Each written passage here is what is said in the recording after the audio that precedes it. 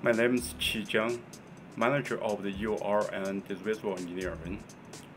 One of the uh, biggest uh, assets in our company is the carbonates reservoir. The carbonates reservoir will be uh, the future for the uh, company. So we have put our best efforts to understand the recovery factor and also the recovery efficiency for this reservoir. The carbonates is a very important portfolio of this company. We have worked uh, very hard to understand the recovery uh, efficiency, which showing over 50% recovery factor can be achieved in the carbonates with thermal and solvent process.